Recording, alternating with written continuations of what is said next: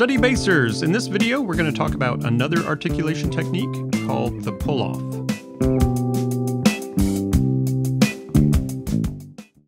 What is a pull-off? A pull-off is just another technique for getting two notes or more out of one pluck. So I pluck once on the starting note, and then by pulling off, I get another note below it. So it's really just the opposite of a hammer-on. Remember, a hammer-on went from a lower note to a higher note on the same string. A pull-off goes from a higher note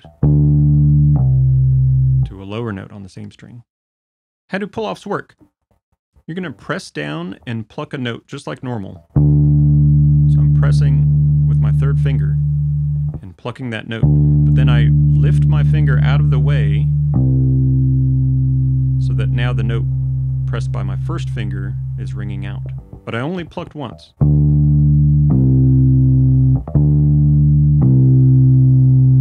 Now it's usually going from one finger to another, but it could also go to an open string. Why use pull-offs?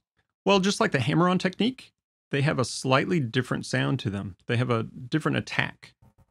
So if I play here,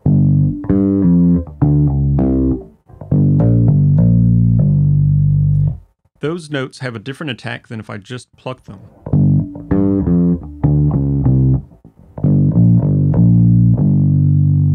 Again, if I do the pull-offs,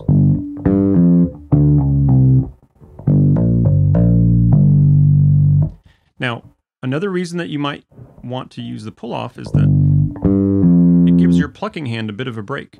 So when I do that pull off, I'm making a sound while my plucking fingers have a little extra time to get to the next string.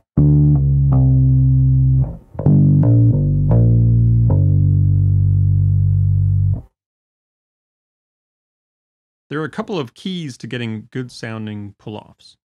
So the first one is that the note that you're pulling off to has to be held down before you release or lift the higher finger. If that finger is not ready, it's not going to sound out. The second key to getting a good sounding pull off is to give the string a bit of a pluck with a pulling off finger. So it's a bit of a downward plucking motion. I'm exaggerating a little bit. Now, if I were to simply pick up my finger, you'd hear there's a big drop in volume between the two notes. And that's because the string is getting longer and there's not enough vibrating energy on the string to make that next note sound out as loud. So to fix that, you just give it a little bit of a pluck. And with practice, you can work on making that louder or softer just to your taste.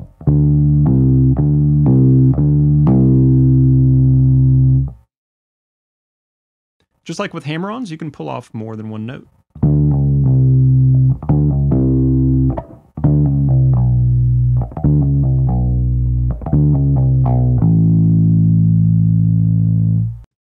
Similar to hammer-on notation, pull-offs are notated using the slur mark, which is an arced line that connects two or more different notes. Remember not to confuse slur marks with ties. Ties connect the same note and extend the rhythmic duration of the starting note. Slurs, like hammer-ons and pull-offs, are arced lines that are written over different notes that are slurred together. A lot of times you'll see the letter P written above or below the arced line, indicating that it's a pull-off. But you have to be careful every once in a while. The letter P means pop, which is another bass technique. In bass tab and alpha tab that I use on StudyBass, the same arced line is used to connect the fret numbers and note names. On StudyBass, I have a number of exercises and sample bass lines for you to practice your pull-off technique. You'll also find a list of songs that are good examples of the pull-off technique. Pull-offs aren't as common as hammer-ons, but they're still used quite often. So work on them. They add a lot of variety to your sound.